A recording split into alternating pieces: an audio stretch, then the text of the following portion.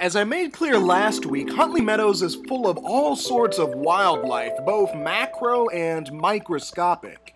Speaking of which, here's a microscopic creature creeping through the moss of Huntley Meadows. I'll be honest, I'm not entirely sure what it is, but if I had to guess, I'd say it's a microscopic relative of the earthworm.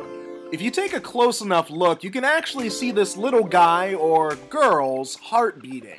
Out of all of the microbes I've filmed so far, I'd say this is one of the coolest. I also encountered another worm on this wet piece of moss. This nematode was slightly less interesting, but still pretty cool looking. Leaving the moss, I decided to explore some wet lichen next. I encountered a nematode here as well. Really, you can find nematodes pretty much anywhere.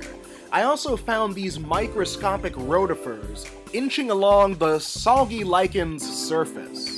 Alright, I'm sure you all are getting a little bit sick of microbes at this point, so let's take a quick break to see what macroscopic animals I spotted at Huntley Meadows. Well, for one, there is this impressive looking snapping turtle, as well as this box turtle, foraging through the leaf litter and waiting for the annoying cameraman to walk away. Fortunately for that turtle, there were plenty of other interesting creatures to see, both macroscopic and microscopic.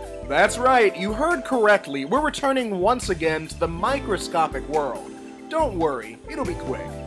That gross, bubbling pile of goo was filled with a dense school of single-celled protozoa.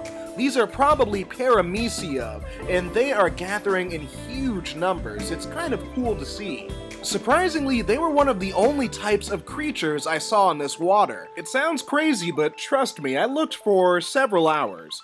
I know, it's a bit of a letdown, but that's all we have for this week. And if you can't wait until next week, check out my YouTube, Instagram, or website. I've got a lot of my work there. Otherwise, if you're more patient, I'll see you guys next week with more wildlife content.